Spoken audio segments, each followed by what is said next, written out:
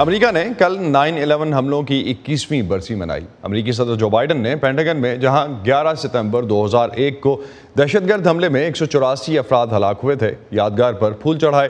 صدر بائیڈن نے اپنے خطاب میں دہشت گردی کے خطرات کے سامنے کبھی ہمت نہ ہارنے کا عزم بھی ظاہر کیا۔ نائن الیون کے حملوں کی برسی پر ملک بھر میں ہونے والی اہم تقریبات میں سے دو تقریبات نیو یارک اور پینسلوینیا میں بھی منعقد ہوئیں۔ خاتون اول جل بائیڈن نے پینسلوینیا میں گرنے والی فلائٹ نائنٹی تھری کی یادگار پر ایک تقریب سے خطاب کیا، جبکہ نائب صدر کاملا ہیرس اور ان کے شوہر نے نیو یارک میں گیارہ ستمبر کی یادگار پر ہونے والی تقریب میں شرکت کی۔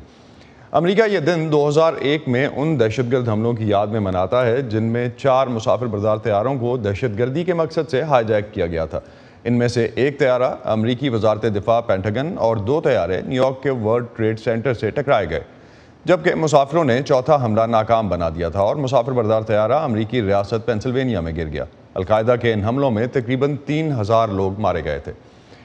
نائن الیون حملوں کے اکیس سال بعد امریکی انتظامیہ دنیا میں دہشت گردی کو ختم کرنے اور امریکہ کو محفوظ بنانے کے بارے میں کیا سوچ رکھتی ہے، اس پر بات کرتے ہیں ارم عباسی سے، جو اس وقت کیپٹل ہل سے ہمارے ساتھ ہیں۔ ارم، صدر بائیڈن نے بھی کل اس بارے میں بات کی۔ کیا کہنا تھا ان کا اور کیا سوچ ہے اس وقت امریکی انتظامیہ کی اس حوالے سے؟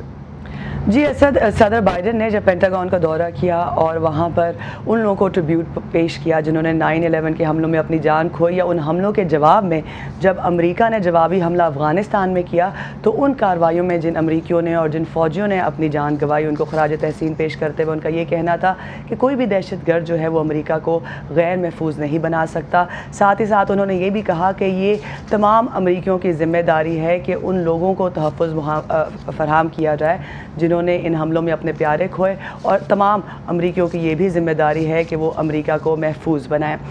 ساتھ ہی ساتھ جیسا کہ آپ نے بتایا کہ نائب صدر کملا ہارس نے اور ان کے شوہر نے جو ہے نیو یارک میں وہ یادگار جہاں پر ورلڈ ٹریڈ سینٹر جہاں پر دو جہاز ٹکرائے تھے، وہاں پر متاثرین کے ساتھ وقت گزارا۔